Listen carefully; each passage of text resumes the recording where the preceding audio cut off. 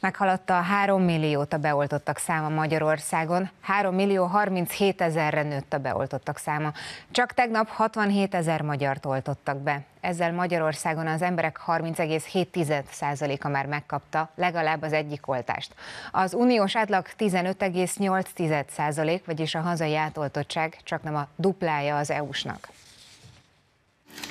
csak a biztonság kedvéért. Ez a Semmelweis Egyetem egyik budapesti oltópontja, ahol az M1 riportere is megkapta az orosz vakcina első adagját szerdán. Boldizsár Kata már nagyon várta ezt a napot. Azt mondta, családja és szerettei egészsége érdekében is fontosnak tartja, hogy beoltassa magát. Talán mi mindösszesen csak ennyit tudunk tenni. Értünk a szeretteinkért, a munkatársakért, azokkal, akikkel napi szinten találkozunk, hogy felvegyük ezt a védőoltást, mert hogy, mert hogy ez az egyetlen egy módja annak, hogy megfékezzük ezt a járványt, és hogy visszakaphassuk a régi életünket. A fecskendők előkészítésével indult a reggel Debrecenben is.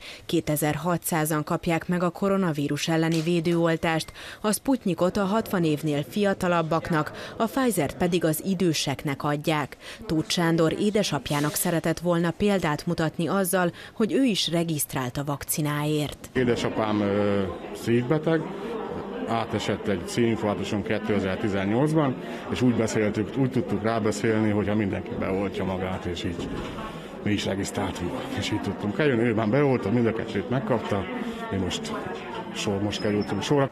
Az Ala megyei Szent Rafael kórházban is gyorsan, gördülékenyen zajlik az oltás. A héten a Sputnikot használták a szakemberek.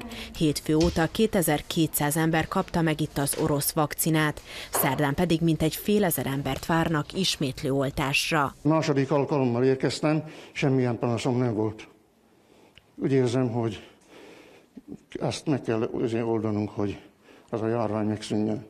Zalaegerszegen a Pfizer vakcinájával is oltanak a következő napokban, főként pedagógusokat és kismamákat, de a háziorvosok is kapnak majd az oltóanyagból. Ennek az elosztása a hét második felében történik meg a megyei oltási munkacsoport által. Meghaladta a 3 millió 37 ezret a beoltottak száma Magyarországon, közülük 1 millió 290 ezren már a második dózist is megkapták. Ez azt jelenti, hogy a lakosság több mint 30%-a már be van oltva, szemben a 15,8%-os uniós átlaggal.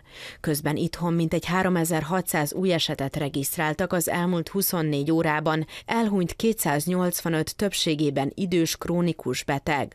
Az aktív fertőzöttek száma meghaladja a 272 ezret, tízezernél is több beteget ápolnak kórházban, közülük 1204-en vannak lélegeztetőgépen.